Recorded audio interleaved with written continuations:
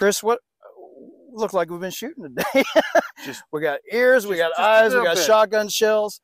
But look, here's I wanted to have a discussion because you've had a lot of experience uh, training and Mhm. teaching Mhm. people how to protect themselves. Yeah. And one thing that I have check this out. Here's my here's one of my bags. I have in my bag A nice plate. a nice pan, armor panel for go. specifically for my backpack and it fits it's just perfect now the difference between this and panels you might find in body armor what's the biggest difference you can you can describe? Well, how thick this is. This is thin. This is a 3A soft panel. It's not a, a ceramic or a hard or Yep. God forbid steel. right right and, and I, i'm a big anti i preach against steel but um, the one the cool thing about this premier body armor that i like to have three more inches of coverage Yep. versus because i had standard armor panels in my pack 10 by 12s and I just I don't know, depends on what kind of mood I'm in. I'll put a soft panel in, or I might put a level four ceramic panel. I ordered in. my 10. I ordered mine um, 12 by 14. Oh, I wanted mine a little gotcha. bit, but mine are also Dyneema, okay, so they're super light. I but- got you. Because armor's no good if it's so heavy you're not going to wear it. Something Good like this point. goes in our backpack. This weighs what eight ounces, ten ounces maybe. It's light, yeah, Um, super light. So you're not going to notice it. I don't even know it's in my bag. Now, if you if you if this was AR 500, you pick that bag up, you'd notice it every time. Yeah, you'd make that noise. yeah, you time. feel you feel like you're at the gym. But then, but then the question comes down to what does this stop? What is this good for? So, Yep. And the only way to actually test body armor is some idiot has to wear it. So, eeny, meeny, miny, Mo! Bob. Bob! What the hell's going on here?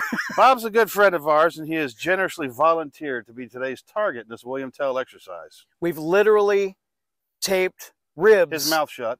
Uh, we've taped ribs onto Bob. These are literally uh, Smithfield.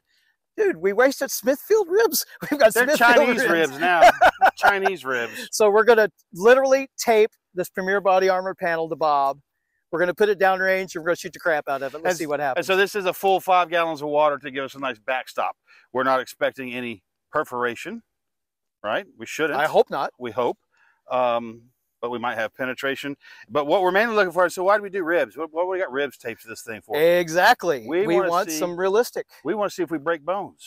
Yeah. We want to see if we break bones. So that's why Bob. Wait a minute. You mean it's not like in the movies when you could get uh, machine gunned Didn't and you, know? just stand there and take it? Nothing didn't you know a nine millimeter bullet will blow your lungs completely out of your body? I'm expecting to see Bob lungless, waterless, broken rib, breast. There's only one way to find out. Let's let's armor him up and shoot him. Let's do it. Here we go. Let's get our tape. We'll tape it up. We want to make sure that Bob is safe. There's been threats made against his life by some uh, some fundamentalists out of uh, out of some nations we won't mention, but they believe Bob is um, not halal. So we're trying to protect him out here.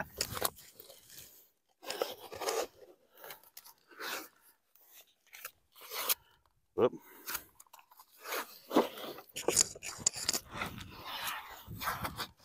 All right, that ought to hold it on there. But we're fixing to shoot him with a whole lot of stuff.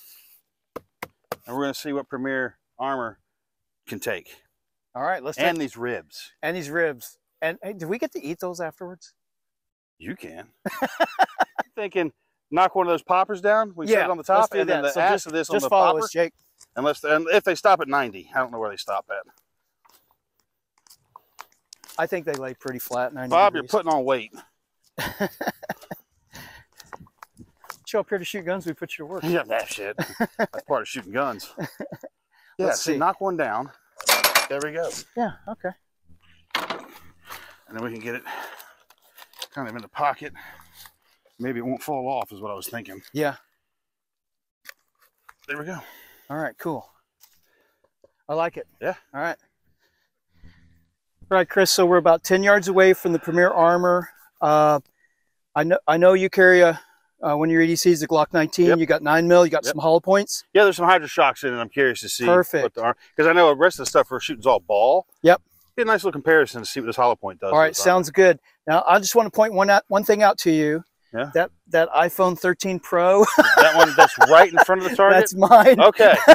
All right, All right. that's all you. Let's put one round in, and let's see what happens. I'm dying to see Mm. what happens to the ribs. Me too. I'm, that's what I'm. I'm gonna. I'm gonna shoot for the ER on the right side of the Okay. Vest, I'm gonna step back. Range is hot. range is hot.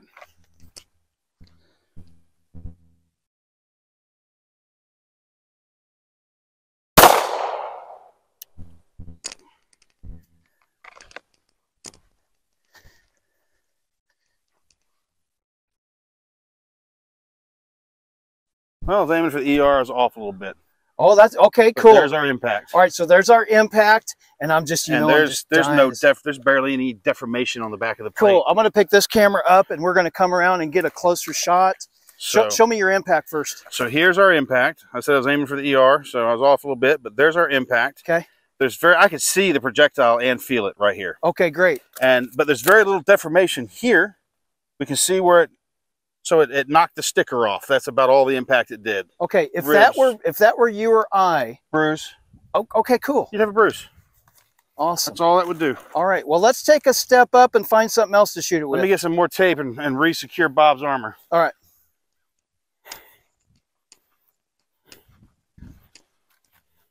And you notice that thing didn't even move. I know. I expected a rock. that weird? I did too. Totally. All right, so Chris, so nice shot. I shot the nine millimeter. I was surprised. It surprised it didn't even like really wiggle. It kind of just absorbed. Didn't even move. I was Didn't- expecting it to move. I Yeah. bet I can make it move I bet it wiggles now. because I'm going to shoot it with a 10 millimeter. This is an Underwood. It's 165 grain traveling at 1600 ish yeah. feet per second. And I'm just going to go for center mass. And it's supposed to stop this. it should stop it. So maybe it will, maybe it won't. So we'll we- find out. We found the nine millimeter projectile just under cover, so it Yeah. didn't really even penetrate layers of Kevlar. Let's see what this does. Right, sounds good. Now I'm going to put my ears in. Going hot. Here we go.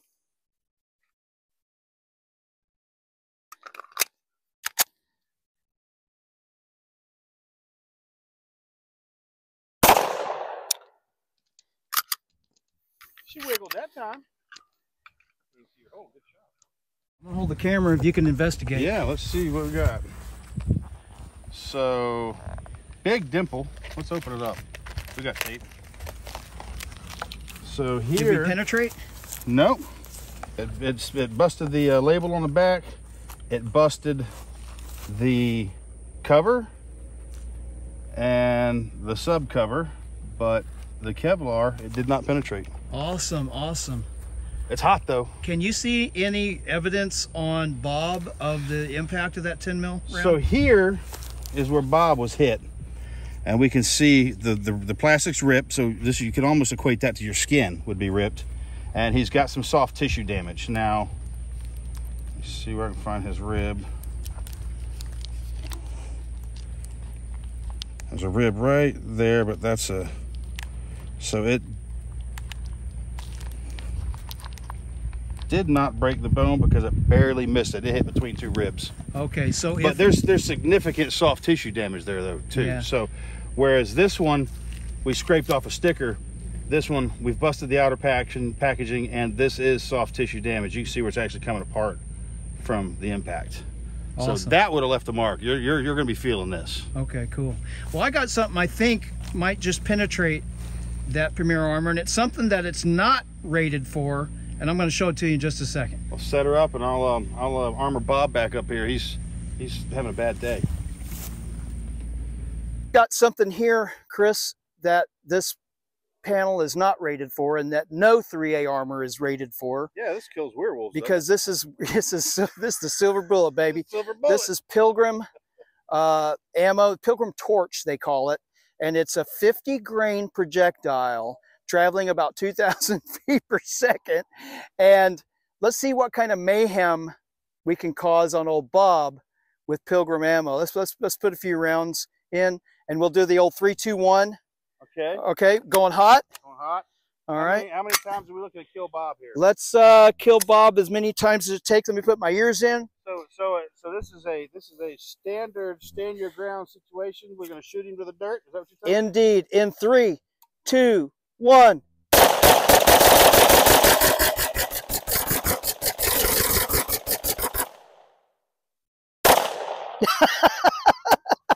I, I can't help it. I'm afraid Bob is dead. oh, cold rains. Let's see what we got. Woo! Oh,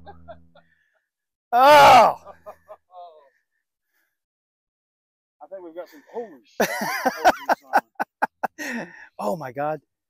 So uh yeah, oh, we have total perforation. Pilgrim ammo will definitely perforate the uh have- any 3A armor. yeah, we have a minimum of four solid, five solid passes through the plate. So Yeah. One, two, three, four, and five. I'm going to put this camera down. I just, you know, we need to kind of explain one little thing here, and I'm going to step in here with you. Here's the deal. With 3A body, with good quality 3A body armor, like Premier body armor, uh, you know, it's meant to protect you against standard, you know, calibers.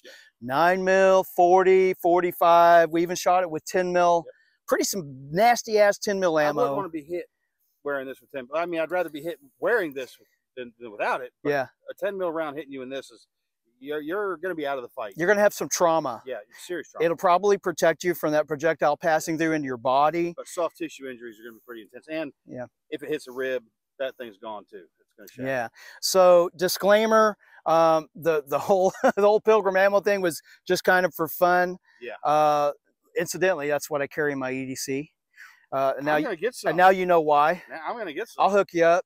I need some of this. But I, I really, it's a testament to Premier Body Armor. It did hold up to the calibers it's supposed to to. your standard calibers you're going to encounter in the street that that your average um, less than law abiding citizen and and peaceful protesting protester is going to carry this is going to be sufficient to the job and and for all those parents kids in schools Oh yeah, these are a must for kids' every- book when you go when they say back to school shopping body armor needs to be on your mind and they need a plate for their backpacks for school because they can wear it on their back like they normally do if things go hot they can spin that thing around teach them how to put it over their front shoulders Yep. and carry it in front of them It's so- cheap insurance for your kids, Yes. guys.